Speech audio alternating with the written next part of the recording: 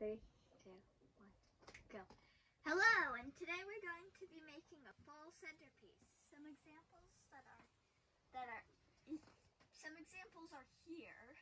Um, I made this a few weeks ago, so it's kind of dried out, but I still think it's pretty cool. And then my brother did this one. It's a fire-breathing dragon, which was really cool. What you'll need for this craft is a piece of cardboard, a pot lid, a bunch of leaves, hot glue, and maybe some of these weed things, depending on your resources. Step one is to get your cardboard and a pot lid and a pencil. Yeah, I forgot to mention earlier that you need a pencil. And you take your pencil and you trace the pot lid.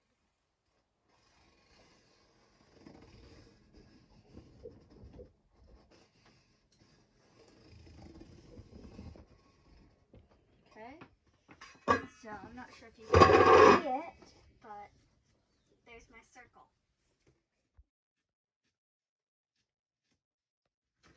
Okay, so I have mine cut out. Now I have to just punch it out. Uh, it's not all the way through here. Yeah. And sometimes it's best to have a parent do this because it is not the easiest cutting cardboard. So voila. And then you throw this away. And you have your base for your centerpiece. Now's the point where you get your hot glue and leaves and you glue your leaves to the centerpiece. For my a hot glue gun to warm up, but while you're waiting for your hot glue gun to warm up, you can take your leaves, place them, kind of format, and see. I just kind of, I feel like that would look really cool if I put it on. So, yeah, that's, yeah, that's what you do while your hot glue is warming up. Let's see, warming up now. And now I am making the mandala. Here I go.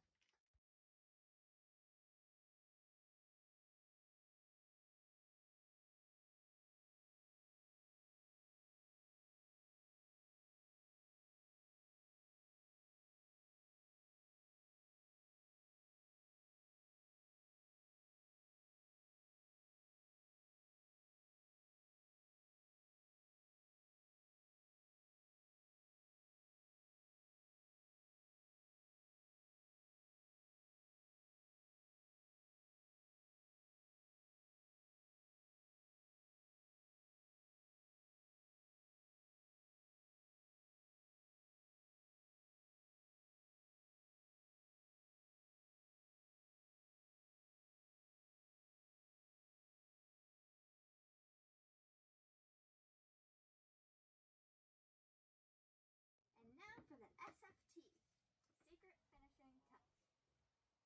It is this leaf. And I shall cut the stem off because I don't want a big stem for my SFT, secret finishing touch. And I'm going to place glue on the back and glue it in the center.